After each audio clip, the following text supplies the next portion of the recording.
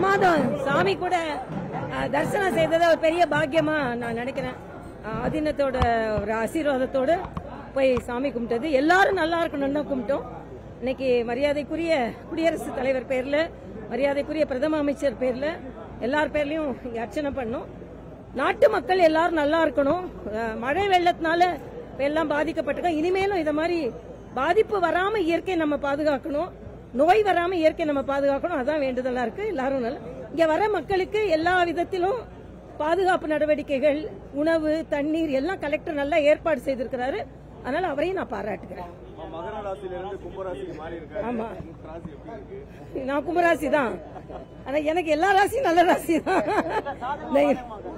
சாதகம் தான் எல்லாமே சாதகம் தான் நம்மளுக்கு. வெள்ள பாதிப்பு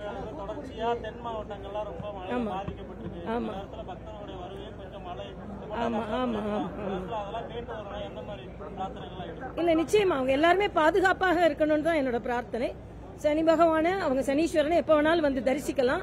அவர் இங்க இருந்தே அவங்க வர முடியாதவர்களுக்கெல்லாம் அவர் இங்க இருந்தே அவர் வந்து ஆசீர்வாதம் கொடுத்திருக்கிறாரு. அதனால எல்லாரும் பத்திரமா இருக்கணும்ன்றதான் சனி பகவானோட அருளா இருக்க முடியும். சனிக்கொரு தனிக்கோவிலாக தனி சன்னதி கொண்டு காக வாகனத்தில் நின்ற கோலத்தில் அபயகஸ்தத்தோடு அனுக்கிரகமூர்த்தியாக ஈஸ்வர பட்டம் பெற்று இந்த திருநள்ளாற்றில் ஸ்ரீ சனீஸ்வர பகவான் அருள்பாலித்து வருகிறார். விசேஷமாக இரண்டரை ஆண்டுகளுக்கு ஒருமுறை நடைபெறுகின்ற சனிப்பெயர்ச்சி வைபவமானது வைபவமானது தற்போது கும்பராசியில் சஞ்சாரம் செய்து அகிலத்தில் உள்ள அனைவருக்கும் சுபிட்சத்தை வழங்கும் வகையில் மிகச்சிறப்பாக நடைபெற்றுள்ளது. இந்த சனிப்பெயர்ச்சியால் மேஷம் கன்னி தனுசு மற்றும் மிதனராசிக்காரர்களுக்கு சுப பலன்களை பெறுவார்கள். கடகராசிக்கு அஷ்டமச்சனியின் காலமாகும். விருச்சிக ராசிக்கு சனியின் காலமாகும். சிம்மராசிக்கு கண்டகச்சனியின் காலமாகும். மற்ற ராசிகள் சம பலன்களை பெறுவார்கள்.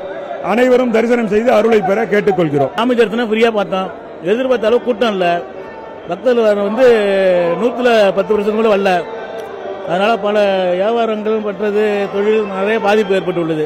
எதிர்பார்த்த கூட்டம் மழை வேற மழை கூட்டம் இல்லை. அதனால் சாமி நல்லபடியாக பார்த்தோம் செய்திகளை உடனுக்குடனும் துல்லியமாகவும் தெரிந்து கொள்ள சப்ஸ்கிரைப் பண்ணுங்க.